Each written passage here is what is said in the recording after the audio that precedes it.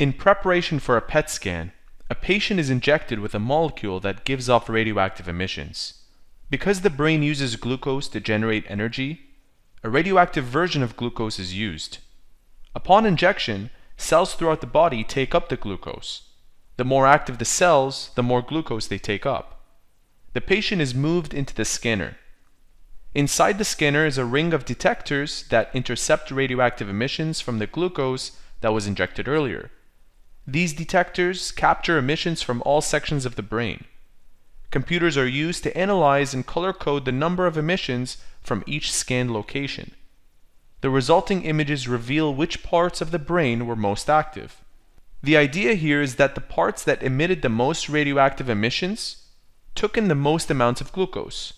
For example, because cancer cells are normally more active than normal tissue, cancer cells appear brighter. Therefore, scientists use this method to detect the location of cancerous tumors, if any spread has occurred, and determine how well a treatment is working.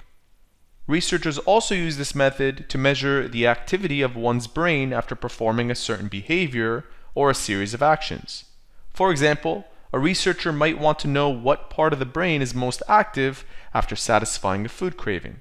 If you enjoyed this video, don't forget to subscribe and share it with your friends. Thank you for watching.